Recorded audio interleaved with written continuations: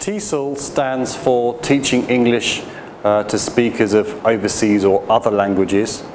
And TEFL stands for Teaching English as a Foreign Language.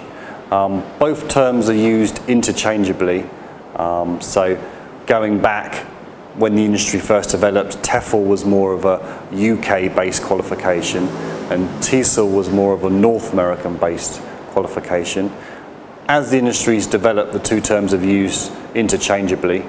Um, so the acronyms TEFL and TESOL are used to describe the English language teaching industry. Um, they're also acronyms um, that will appear on your certification at the end of the course as well.